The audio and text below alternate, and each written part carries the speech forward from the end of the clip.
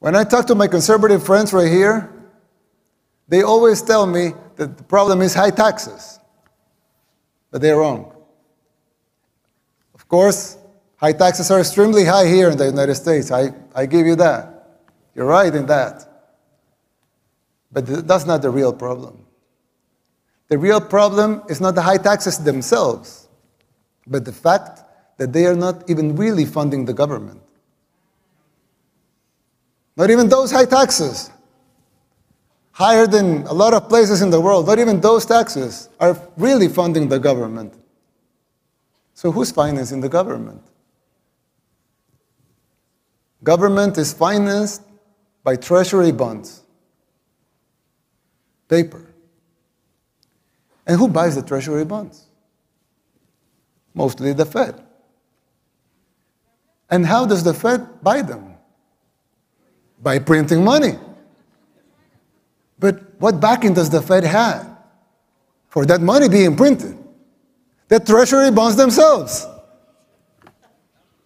So basically, you finance the government by printing money out of thin air.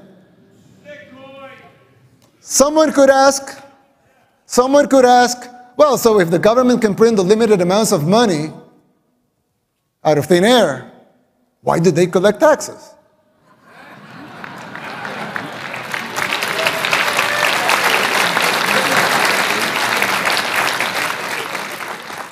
I mean, in theory, it would make sense, right? If they can print unlimited amounts of money, why would they need taxes for?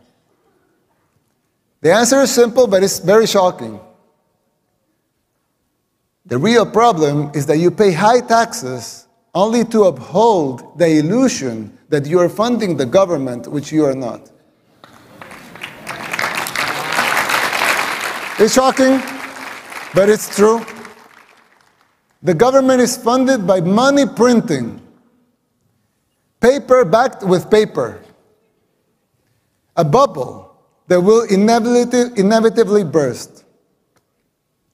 The situation is even worse than it seems, because if most Americans and the rest of the world were to become aware of this farce, confidence in your currency would be lost, the dollar would fall, and the Western civilization with it.